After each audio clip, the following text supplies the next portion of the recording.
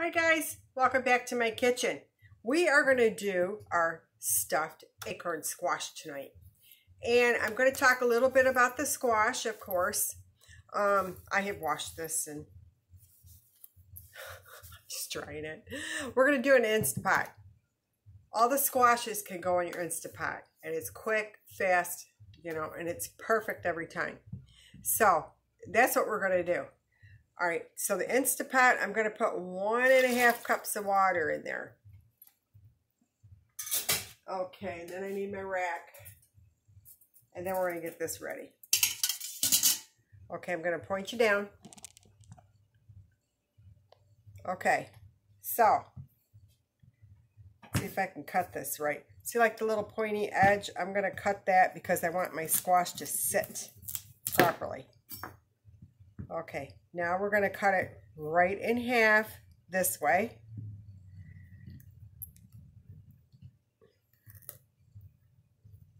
I'm going to fight with it. Let me get my other knife. Hey, it's going to go one way or the other. There we are. I, I got to sharpen that bad boy. I thought it was sharp enough. But okay. And then I just use a grapefruit spoon and just to get everything out. Get your little seeds out.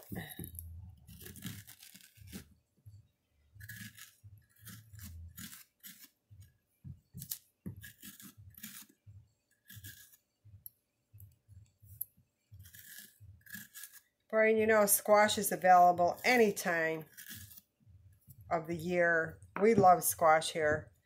Um, yeah, we have it quite often. With the dressing and everything in it, but we have a lot of squash.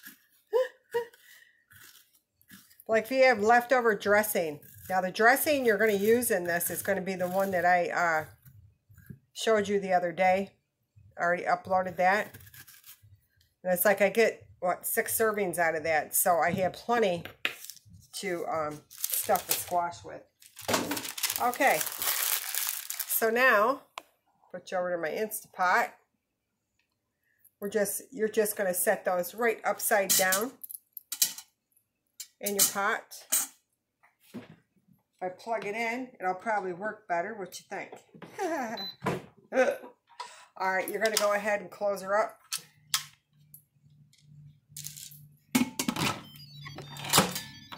Make sure it's on sealing.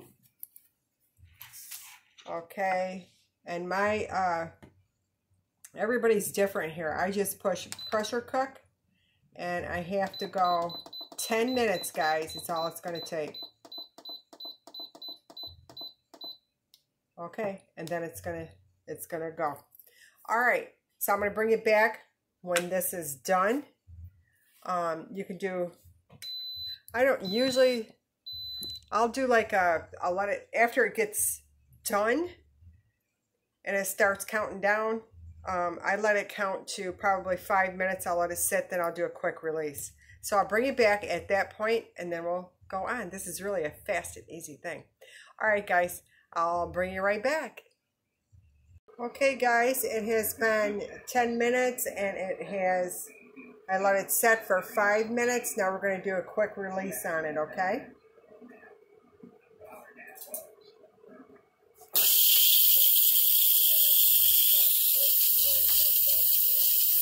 It's not going to take that long.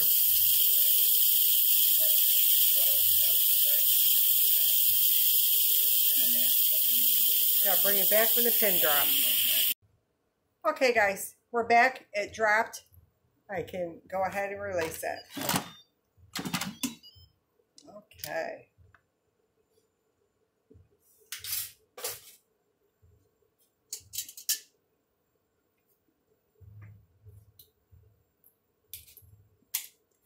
Just going to take your little squash out. Be careful because they are done. Whoops. A little too done, I think. Oh, my goodness. That's going to give me a problem. All right. There's that one. This is a bad boy that's giving me a problem. Oh, okay. Well, I'm going to have to reconstruct that one. Hey, only on my channel, right? Okay, look at that one. Oh my goodness. See, this one was a little bit thicker. That one was a thin one. So that one shouldn't have went that long. All right, now how am I going to do this? Okay, I tell you what. I'm going to... This is going to be mine. My husband will have the other one. there, I have a butternut square. Check it out. okay, so that is done. Now, when I do my stuffing, I always portion them all out, you know, like the leftovers. So this is a portion. And you're just going to go ahead and put it in your, your little squash, the whole portion.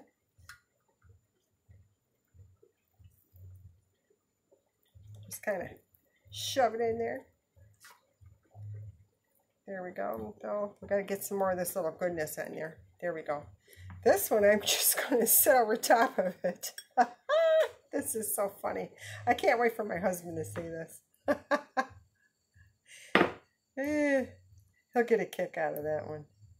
All right.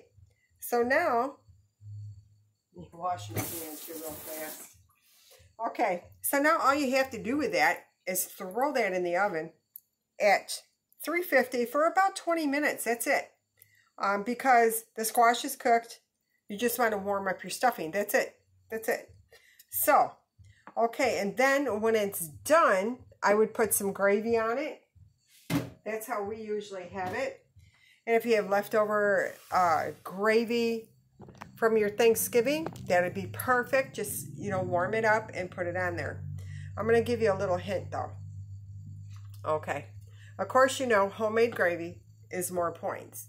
And you can either use, I think they got like slow roasted turkey in the jar. I forget the brand name of it.